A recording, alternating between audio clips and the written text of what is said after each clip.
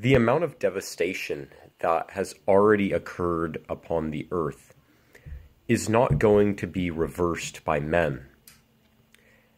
And because men are not repenting and turning to God, but they are looking to themselves for peace and for restoration of the earth, they're never going to find what they're looking for. They're never going to find true hope, true true peace, true restoration.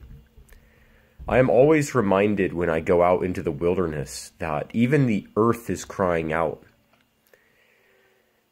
Things are drying up here in California, the fires are coming through, and people are looking to the government, they are looking to the securities of this world to try to bring them peace and hope for a future.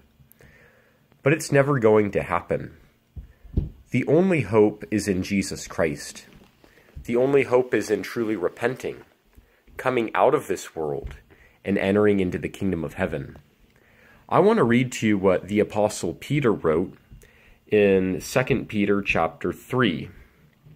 But the day of the Lord will come as a thief in the night, in which the heavens will pass away with a great noise and the elements will melt with fervent heat. Both the earth and the works that are in it will be burned up.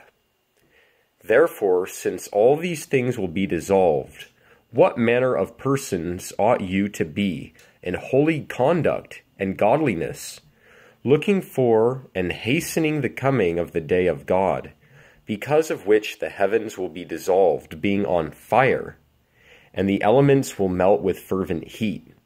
Nevertheless, we, according to his promise, look for new heavens and a new earth in which righteousness dwells.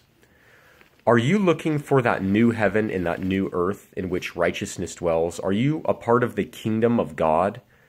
Or are you part of this world, trying to find peace and hope in this world? The hope of this world is perishing. I hope you find Jesus for real before you're forever too late.